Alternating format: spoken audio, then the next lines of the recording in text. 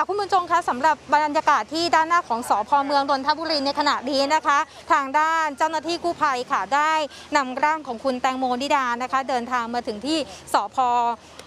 เมืองนนทบุรีเป็นที่เรียบร้อยแล้วนะคะ ซึ่งบรรยากาศณตอนนี้ค่ะ ก็เจ้าหน้าที่หน่วยกู้ภัยนะคะ ของร่วมกตัญญูค่ะ ก็จะนำร่างของคุณแตงโมนะคะ มาพิมพ์ลายนิ้วมือนะคะ เพื่อบันทึกเป็นหลักฐาน ในส่วนกรณีของผู้ที่ตอนแรกเป็นผู้สูญหาย ตอนนี้เป็นผู้เสียชีวิตแล้วนะคะ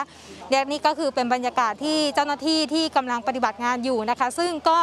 ไม่ได้เปิดให้สื่อมวลชนได้บันทึกภาพได้ตลอดเวลานะคะ ก็เป็นไปตามในเรื่องของกฎหมาย แล้วก็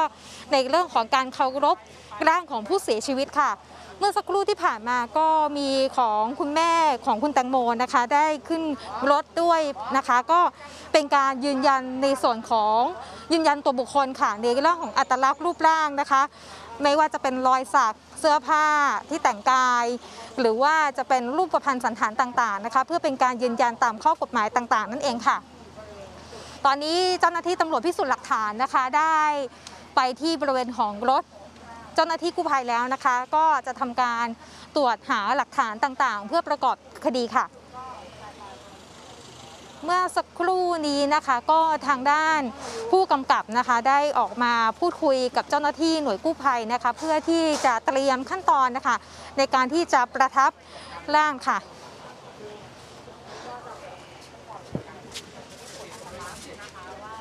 ตอนนี้เดี๋ยวเราไป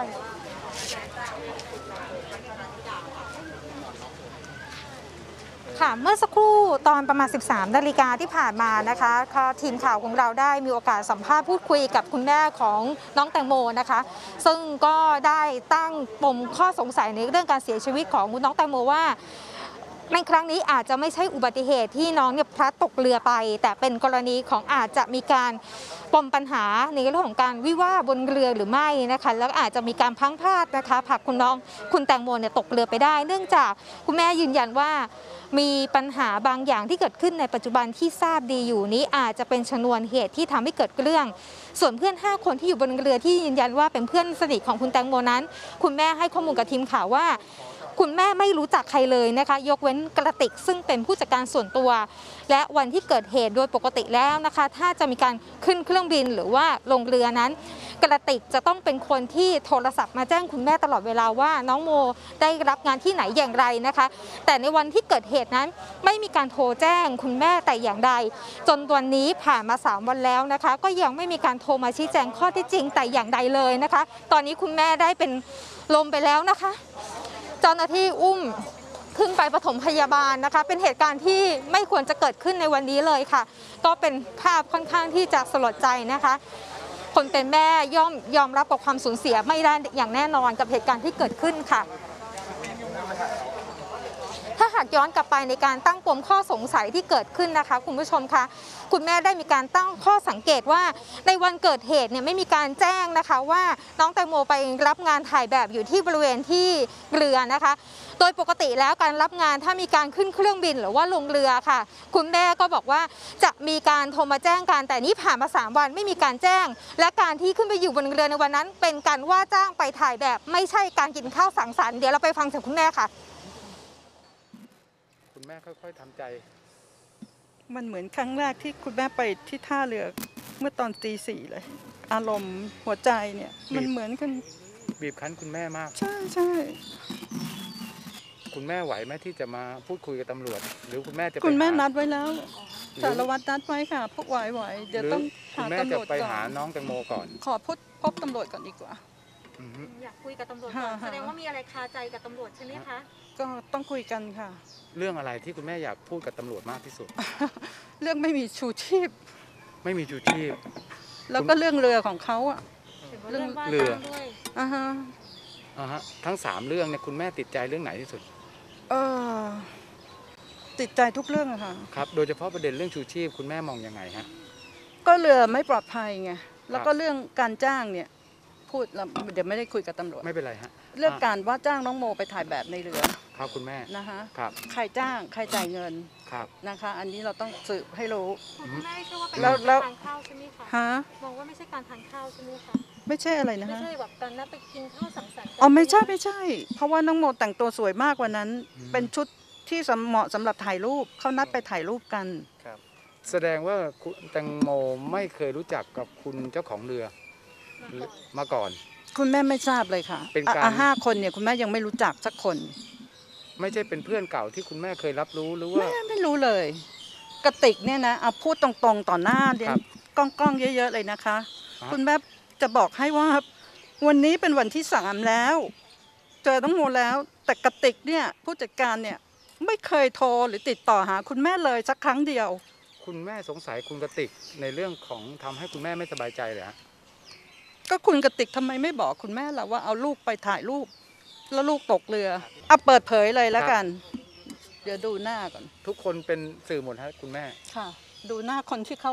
ไม่ชอบคุณแม่อยู่นะฮะมันจะมีกลุ่มผู้หญิงกลุ่มหนึ่งซึ่งเป็นเพื่อนน้องโมนี่นะคะเป็นพวกช่างแต่งหน้าเป็นเพื่อนเพื่อนเพื่อนสนิทสนิทอะไรของเขาแหละอือฮึ เพื่อนเพื่อนเป็นเพื่อนอีกระดับหนึ่งอะครับ วันนั้นที่ท่าเรือที่หนึ่งอะ ครับ ก็มีนักข่าวลุมคุณแม่เยอะเยอะแยะมากเลย คุณแม่ก็ตอบไปนะคะ เสร็จแล้วเขาก็พยายามที่จะดึงคุณแม่ออกมาครับ เขาบอกว่า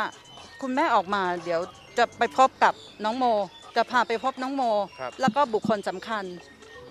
คุณแม่ก็ยิกยักเขาก็เอารถจอดรอเราก็เอ๊ะอะไร เราก็ต้องคิดเนาะจะเอาเราไปฆ่าหรือเอาไปทำอะไรหรือเปล่าครับ ปิดปากอะไรทีนี้คิดไปคิดมาอะบุคคลสำคัญ ไปเจอน้องโมด้วยเอาไปขึ้นรถไป พอดีมีเพื่อนไปด้วย เพื่อนเนี่ยที่คบกันมา 40 ปีเนี่ย ครับ เอาเข้าไปด้วย ครับ ปรากฏว่า ไปพบใครรู้ไหมก็พบพวกเขานั่นแหละ ที่คุณแม่ว่าบรรดาพวกเขาอะขอให้คุณแม่ไม่ไม่ไม่ให้สัมภาษณ์ข่าว คุณแม่คิดว่าเป็นเรื่องปัจจุบันในในเรือนั่นแหละ อาจจะมีการทะเลาะกัน เพราะว่ามันมีภาพที่น้องโมนั่งเศร้าอยู่ภาพหนึ่งนั่งคนเดียวนั่งเศร้าครับฮะแล้วก็คนอื่นๆก็คงไปอยู่อีกมุมหนึ่งเพราะเขาต้องการถ่ายรูปกัน คุณแม่ไม่อยากไม่อยากปักปรำใครอะนะฮะเพราะเรา คือเราเห็นมาเรื่อยๆ เราก็คิดว่าเขาเป็นเรื่องธรรมดากันเป็นเพื่อนกัน ครับ เป็นผู้จัดการเป็นเพื่อนกันใช่ไหมครับ อะแต่เราก็เห็นอะไรมาหลายอย่างที่เขาเขาไม่สุภาพกับน้องโมอะคนเป็นผู้เขาจัดเขาการเขาไม่ได้รักน้องโมจริงอะไม่ได้จริงใจกับน้องโมอะ จับน้องโมที่ทุกคนโทรไปแล้วไม่รับสาย เจอเจอแล้วค่ะ ครับ คุณแม่เอามาเพราะว่าตำรวจขอ ครับ คุณแม่เอาสมางสัยอะค่ะว่าใครเป็นคนลบลรูบปภาพในไอจี IG ของคุณแตงโมอะค่ะ ในในโทรศัพท์ใช่ไหมใช่ค่ะในไอจีคุณคุณแม่เพิ่งเพิ่งไปได้โทรศัพท์มาเมื่อคืนนี้เองนะคะอืมแสดงว่าก่อนหน้านั้นน่ะมันก็ต้องอยู่ที่กระติกนั่นแหละ แล้วทุกวันทุกก่อนที่จะมาถึงมือคุณแม่ โทรศัพท์นี้อยู่กับใครฮะก็อยู่บ้านกระติก เอ้ย อยู่กับคนใช้ใครอยู่กับพี่เลี้ยงคุณพี่เลี้ยงใครกระติกเนี่ยเขาเอาไปให้ให้ให้พี่เลี้ยงน้องโมอ่าที่บ้านอืมที่บ้าน ค่ะคุณผู้ชมคะเมื่อสักครู่ที่ผ่านมาคุณแม่ของคุณแตงโมก็ได้ขึ้นไปพักผ่อนด้านบนของสพเมืองนครเอ่อเมืองนนทบุรีเป็นที่เรียบร้อยแล้วนะคะ ซึ่งคุณแม่เองก็มีการให้สัมภาษณ์ไปอย่างที่บอกไปว่ามีการตั้งข้อสงสัยในเรื่องของประเด็นการตกเรือของคุณแตงโมไปว่าอาจจะไม่ใช่เกิดอุบัติเหตุเกิดขึ้น จากปมปัญหาที่เกิดขึ้นในปัจจุบันนะคะ แล้วก็รวมไปถึงมีภาพถ่ายหนึ่งภาพที่คุณโมเนี่ยนั่งเศร้าอยู่ที่เรือเพียงแค่คนเดียว ส่วนที่เหลือเนี่ยถ่ายรูปกันอยู่อีกด้านหนึ่งนะคะ นี่คือเป็นอีกหนึ่งปัจจัยที่ทำให้เกิดข้อสงสัย รวมไปถึงในเรื่องของสภาพของเรือนั้น คุณแตงโมนั้นไม่น่าไม่น่าจะสามารถนั่งถ่ายเบาที่ท้ายเรือได้ แทบจะไม่มีโอกาสตรงนั้นได้เลยนะคะ ซึ่งก็เป็นอีกหนึ่งข้อสงสัยที่ทางให้เจ้าหน้าที่อาจจะต้องไปขยายผลการสอบสวนต่อเนื่องค่ะ เนื่องจากว่าถ้าหากในการออกไปรับประทานอาหารในครั้งนี้ ไม่ใช่การสังสรรค์ แต่เป็นการว่าจ้างเกิดขึ้นนั้น ต้องไปดูปัจจัยองค์ประกอบว่า มีเหตุผลหรือมีองค์ประกอบใดที่ชี้ให้ว่ามีการชักชวนก่อให้เกิดเหตุการณ์นี้เกิดขึ้นหรือไม่ จากคดีอุบัติเหตุอาจจะมีการพลิกปมเกิดขึ้น ถ้าหากการสอบสวนนั้นพบปมข้อสงสัย โดยเฉพาะในเรื่องการทำประกันให้กับลูกบุญธรรมนะคะ มีการตั้งข้อสังเกตในเรื่องนี้ด้วยเช่นกัน ซึ่งก็ต้องรอติดตามกระบวนการสอบสวนต่อไปค่ะ คุณผู้ชมคะแล้วคุณบรรจงคะเดี๋ยวเรามาดูบรรยากาศล่าสุดตอนนี้เรายังอยู่ที่สพเมืองนนทบุรีนะคะ ซึ่งนี่ก็คือรถของเจ้าหน้าที่กู้ชีพของมูลนิธิร่วมกตัญญูค่ะ ได้นำร่างของคุณแตงโมนะคะนิดามาไว้ที่ด้านหน้าเมื่อสักครู่ที่ผ่านมาเจ้าหน้าที่ได้ใส่ชุด PPE นะคะ ได้ขึ้นรถไปจำนวนหนึ่งนายด้วยกันนะคะ เพื่อที่จะไปดำเนินการในเรื่องของการ